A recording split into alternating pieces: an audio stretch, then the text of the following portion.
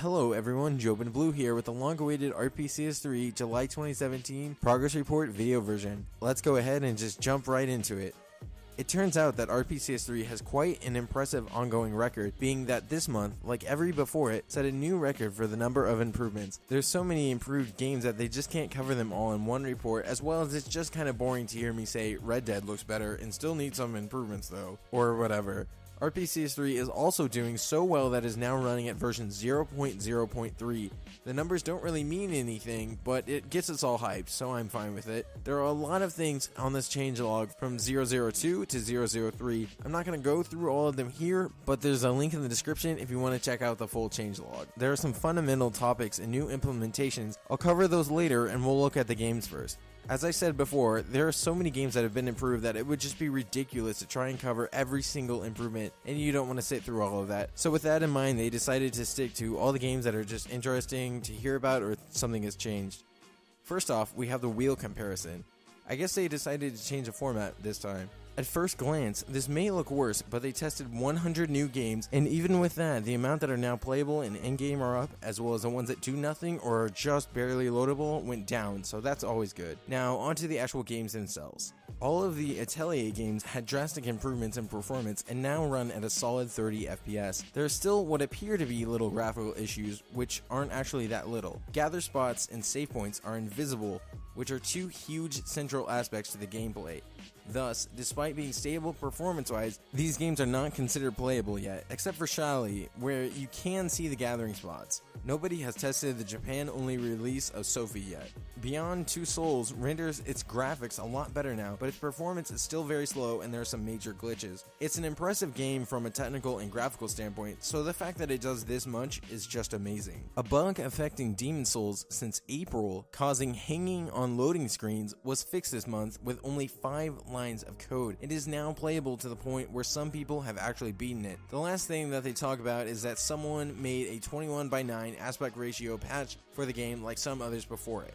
Drakengard 3 went from doing nothing to basically playable, but sometimes it drops to about half of the FPS and at other times it'll randomly crash. This game also has a bad frame rate on a real PS3, so they suspect that it will be a very demanding game to run when it gets fixed. Hatsune Miku Project Diva F 2nd went from just the menus to being flawlessly playable at full speed. Kingdom Hearts 1.5 and 2.5 were mentioned in my video improvements video for August, but just to reiterate, 1.5 is fully playable and 2.5 isn't considered considered fully playable yet because it still freezes sometimes. Persona 5 is now fast enough to be considered playable, and many people have beaten it from start to finish, saying that they got decent performance and acceptable graphics. Further coverage of this game is questionable considering the Atlus controversy, which required RPCS3 to take down all mention of Persona 5 from their website, including their progress reports. Red Dead has improved some from KD11 and some of the models render fine and is semi-playable to the point that someone has beaten about 20% of the game. Skate 3 saw improvements to graphics and performance, some of the broken, flickering graphics have been fixed. It's stable, but not considered playable because it's not fast enough yet. White Knight Chronicles saw graphical and performance improvements from KD11, and it's to a point where it almost looks perfect, and on fast CPUs, it could be considered playable. Next up, we have the Tales of games.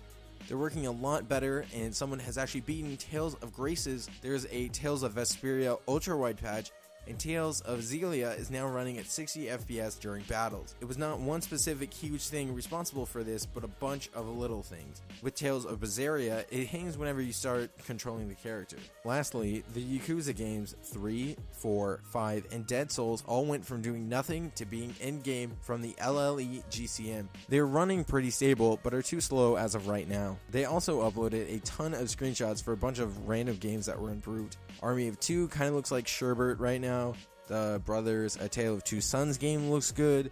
Uh, we got New Vegas, Modern Warfare 3, Dragon's Crown, Dragon's Quest Builders, Devil May Cry, Shadow of Mordor looks like Thermal Vision. The PS3 exclusive Heavenly Sword looks good. Next up, we have Revengeance, Oddworld, Ninja Gaiden, Oblivion, Skyrim, Prince of Persia, and Trine.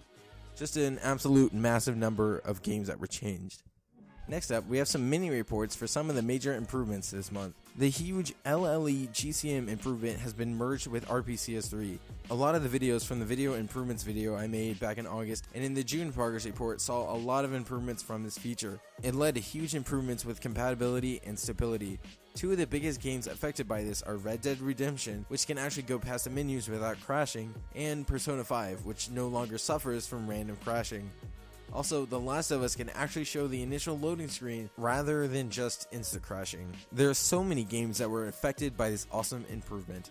Next up, there's some general Linux improvements as well as app image support.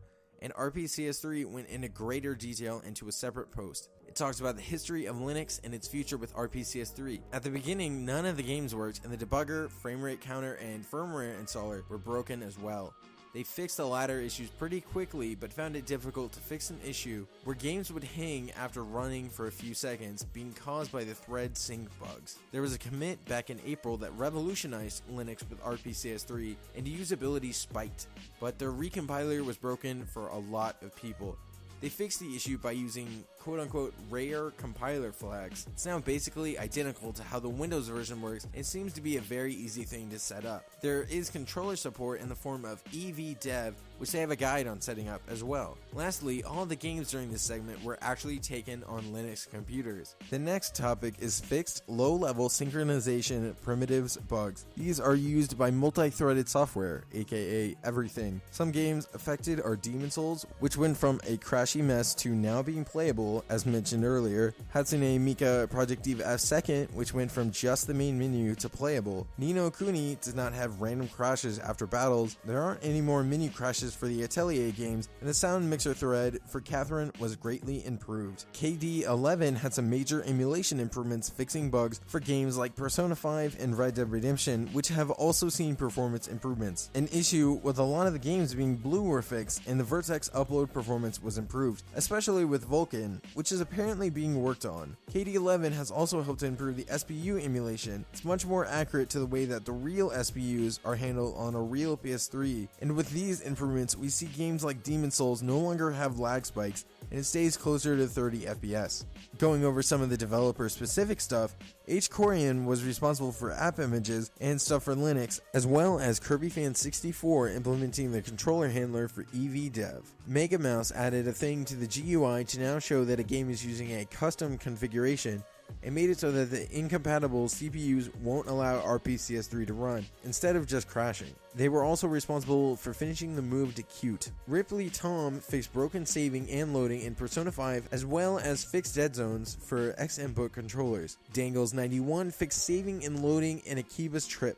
This is huge. Flashfire implemented a save manager for RPCS3, and this will allow you to have more save files for games that use a PlayStation 3's OS saving but of course, this doesn't work for games that use in game saving like Dishonored. They also hope to improve the save manager in general. As for some upcoming things in closing words, Nekotekina is working on LIB LV2, which will enhance compatibility as well as add more modules to the LLE so that it can download data. I'm not entirely sure what the capabilities of that are though. They're improving the LLVM so that things can compile faster. KD11 is working on Xculling, which will improve performance and some bugs with the LLE GCM and they're also reworking the Vertex upload, which will also improve performance. And they tease that this will help you with popular games, so probably P5 or Red Dead. Make sure that you also support them on Patreon if you can.